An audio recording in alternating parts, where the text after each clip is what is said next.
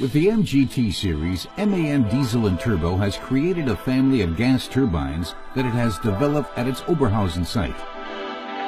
The highly efficient MGT 6100 and MGT 6200 turbines set a milestone in the 6 megawatt output class.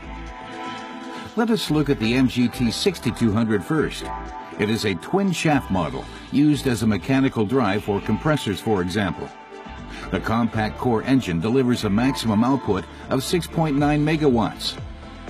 This is equivalent to 9,522 horsepower, thus as much as 95 automobile engines of 100 horsepower each produced together.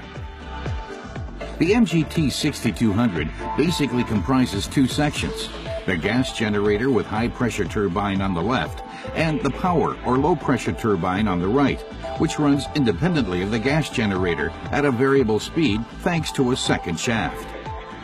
An external drive starts the gas turbine.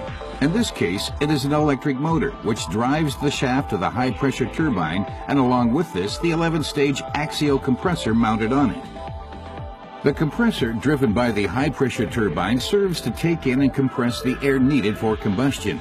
Inside the six combustion chambers, the air is mixed with fuel gas and the mixture is ignited. The hot exhaust gases expand, driving both the high and the low pressure turbines. Let's take a closer look at this process. Due to the spinning motion, the blades of the axial compressor strike the air. They conduct it into the turbine while compressing it in the process. A flow is created that passes through the air intake casing and then along the axis. A pressure increase of 15 bar means the air flows into the six combustion chambers with around 15 times more oxygen. These advanced can combustors premix the fuel gas with the compressed air homogeneously already before it enters the chamber. Afterwards, this mixture is ignited and burns with extremely low emissions.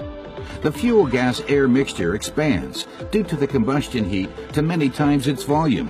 As a result, it flows at high speed first through the two rows of blades of the high pressure turbine and then through the low pressure or power turbine, thus driving both shafts.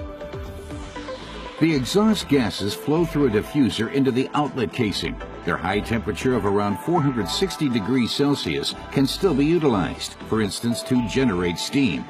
The shaft of the power turbine can be operated independently of that of the gas generator in a speed range of 45 to 105% of the nominal speed of 12,600 RPM, and thus adapt optimally to the requirements of the machine to be driven. However, such a flexible speed range is not necessary to generate power. That's why MAN has come up with the MGT 6100. This single shaft model drives an electric generator at a constant speed and has been especially designed and optimized for this.